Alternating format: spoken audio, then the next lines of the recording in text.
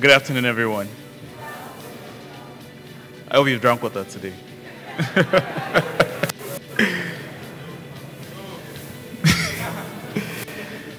Please leave. Thank you. So, um, for those of you who do not know me, my name is Egemba Chinon. So, I'm a medical doctor, and I want to tell you the story of how I became a comedian, merging the worlds of medicine and creativity. Where do I start from?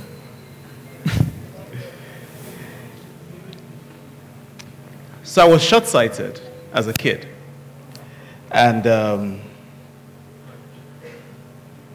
I had no idea. So I was one of those children that would sit in front of the TV and they would say, Come back. Why are you sitting too close to the TV? And the discipline method of our parents then was either a slap or cane or something to reset your OS.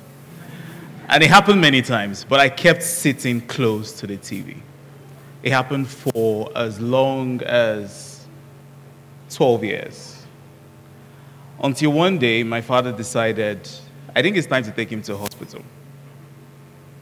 And I come from a lower to middle income family, so we could not afford a proper optician. For those of you who grew up in Lagos, you know, a place at Lagos Island where they can give you glasses. Yeah. So we went there. And when I came out, my vision was a lot better. See, for those of you who have eyesight, you should thank God. And I came out, and the world was beautiful again. I could see. I read all the billboards, criticized everything, because I was not seeing them before. oh, so that's what this billboard was saying. And fast forward to secondary school, I couldn't fit in. I used to, or rather, I regard myself as someone who's creative. I'm an actor, I'm a singer, I'm a comedian, I'm a writer, I'm a storyteller, and I'm also a medical doctor. And in secondary school, we had asked where I should join. I'm the kind of person who I was in every single department. I was in choir, I was in the drama club, I was in the debates group, I was everywhere. I don't know if you're that kind of person, please let me know. I was everywhere. I was everywhere and everything. And because of that, I couldn't fit in. When it came to the choir, it was difficult to get me to stick to a particular part. So the way the choir is arranged in secondary school, and probably still now, it's the treble and soprano sit in front, the alto behind, tenor, and then a bass. And every day you come to the choir, I was in a different position. So today I'm singing treble. And while the harmony of the song is going on, I hear something beautiful. And I wonder where is it coming from? It's coming from the tenor people. Then I switch immediately to tenor. And the people who are in treble get confused. And they kick me back to tenor. Fast forward to me getting admission into university. The next slide. So, yeah, that's me.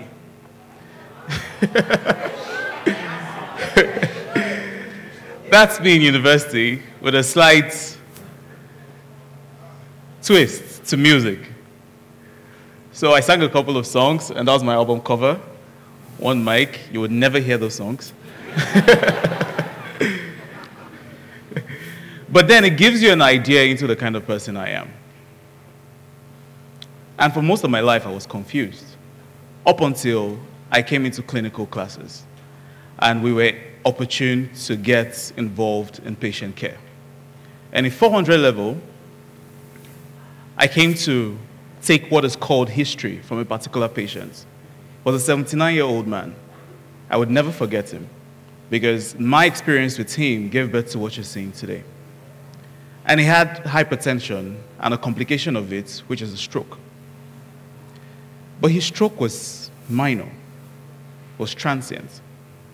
And the doctor told him, This is what you need to do to prevent the next stroke from coming on, because the next stroke is usually worse than the first.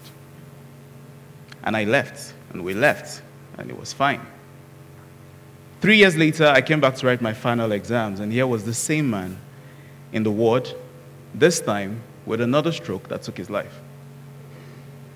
And it got me thinking what exactly did he miss?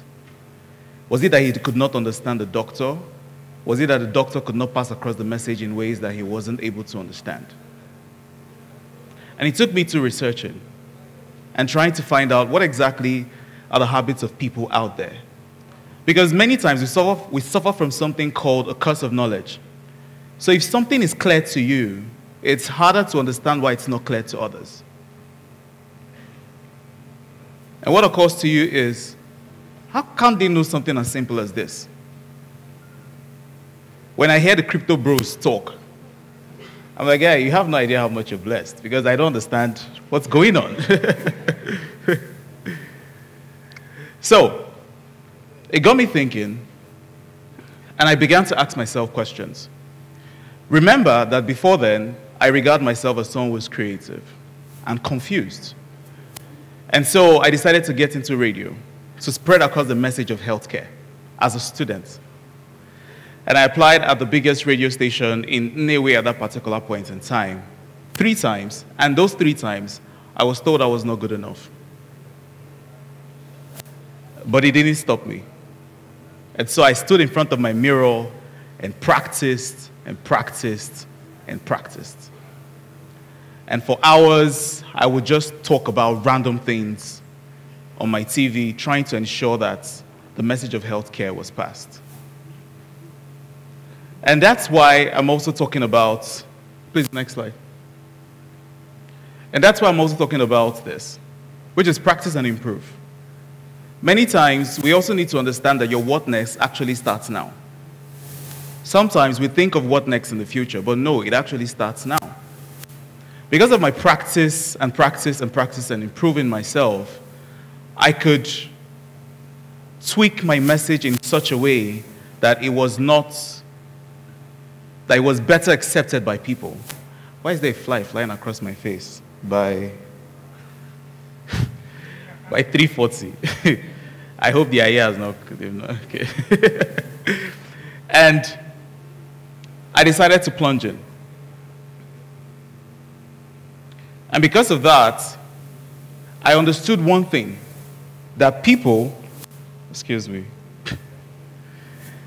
that people spent a lot of times on their phones, their mobile phones. I'm sure if you're asked how long do you spend on your mobile phones, many of you spend close to six hours every day on that phone. And whether you like it or not, it actually helps to inform your habits. Your habits are built by the things you expose yourself to daily. And I asked myself, how can I, as a medical doctor, pass across these messages in a way that people would accept easily? And it was through their phones. I had tried through the traditional media, and I was told I wasn't good enough.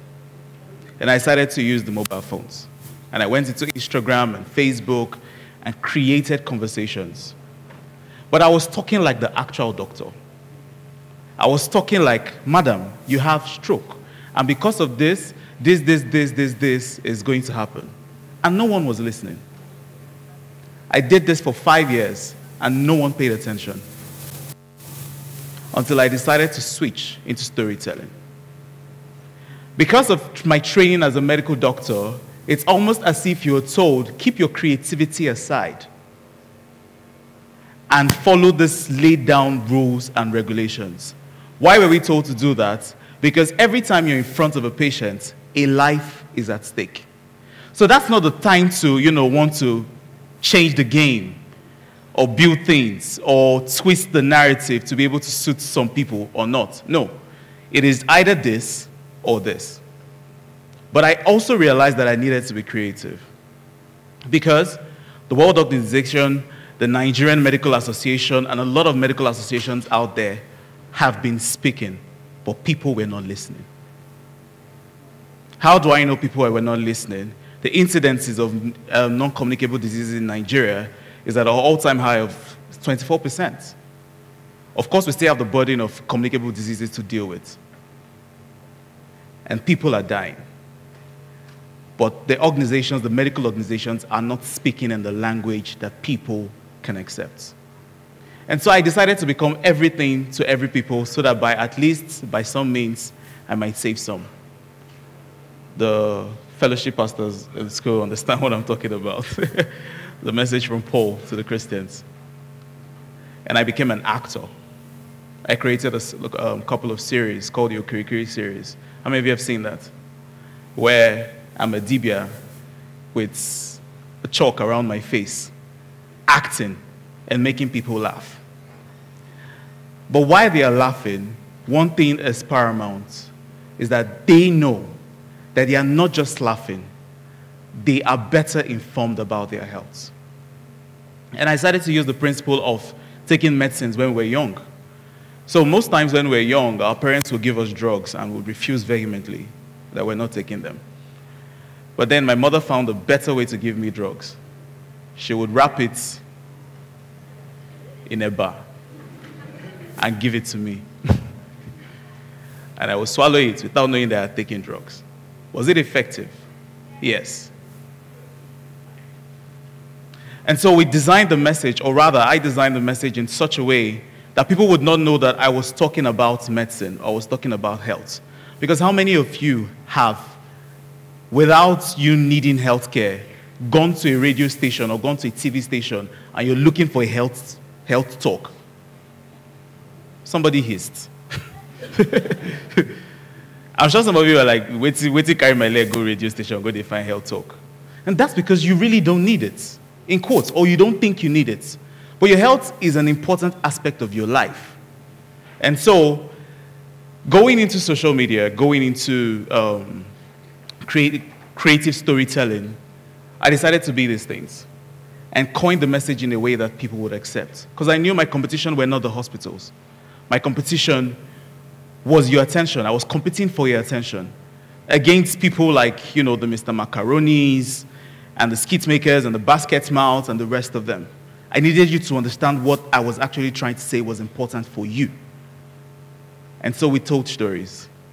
And in the process of telling stories, we've created one of the biggest health channels in Africa, I dare say.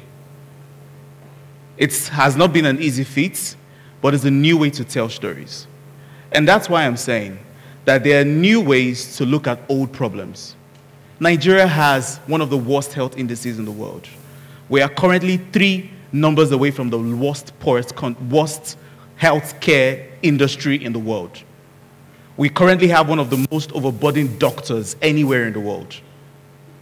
And so, you, in my own opinion, I decided to play my own part in making sure that people live healthy lives. Not by doing it the traditional way, but by finding a creative way. And so I'm going to end with this, my last slide. Just jump to the last slide. I'm not going to bore you all this. The things we say are never new. They have either been said or written. What we are doing is simply echoing them till they find expression. Thank you.